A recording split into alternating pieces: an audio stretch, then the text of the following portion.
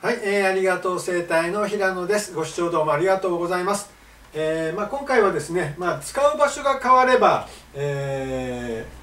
ー、まあ、自自自己注力が働くという話でですね、えー、まあ、えよく最近、え最近というかですね、えこの写真を使わさせていただいてるんですけども、えまあえー、顎がね、えー、非常に痛くて、えーまあ、どこに行っても、まあ、変わらなかったという人なんですが、まあ、本当に今のこの写真を見てもらうとですね、えーまあ、姿勢がですね、えー、頭がこう前に突っ込んでいる状態、えー、この前のつ前に突っ込んでいる状態で、えー、顎を、えーまあえー、ご飯を食べる、えーまあ、しゃべる、えー、ということで、えー、顎の使い方が、え、悪くなって、まあ、痛みを起こしていた。えー、つまり、えー、頭をですね、えやはり体の中心にやはり乗せてあげないことには、えー、綺麗な使い方に、え戻らないということです。で、えまあ、この方ねこう123回、まあ、3回じゃなくてません30分後には、えー、こう綺麗なね重心になって、まあ、その、えー、綺麗な重心が保てるようになって、えまあ、この方はまあ6回目なんですけども、え6回目で、えまあ顎の痛みが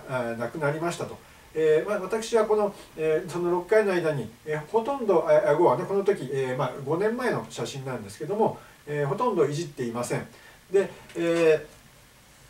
ー、まあで6回、えー、やって、えー、この人来なくなったんですが、えー、その5月にして、えー、その冬ですね、えー、翌、えー、翌年の2月に、まあ、電話がかかってきてですね、まあ、50年間ずっとひどかった、えー、冬になるとひどかった、えー、手足の霜焼けがえー、その年には、まあ、全く出なかったという話、えー、結局冷えまでね変わったということだと思うんですけども、えー、この綺麗なところで、え重心をねしっかり使えれば、え気の流れ血流の流れもね、え変わるという、まあえすごく貴重なですね、まあ、資料に、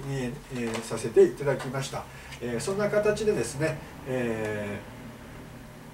まあ、体が、え脳がえきちんとえそこを把握している筋肉なり重心をね把握しているかということが非常に大事だと思ってえ整体をしています。ですから部分部分を揉んだりですねえ押したりえ、ねじったり、えー、温めたり、え、そういったことをね極力、え、なくして、え、あくまで、え、その人の、え、重心をしっかりさせて、え、その人の、え、歩き方、え、座り方、え、立ち方その使い方がですね変わる、ええー、と生態をね心がけてやっています、えそんな生態をしています。愛知県蒲郡市というところでやってますが東京大阪もですね出張しております。よろしくお願いいたします。